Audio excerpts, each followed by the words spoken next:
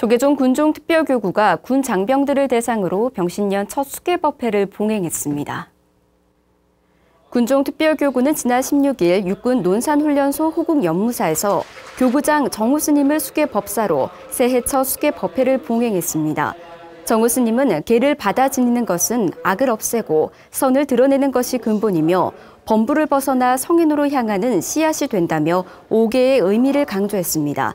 이날 수계법회에는 공군본부 각원 군승실장 등 현역 군승 7명과 충남 포교사단 포교사 15명이 훈련 장병 3,700여 명에게 연비를 도왔습니다.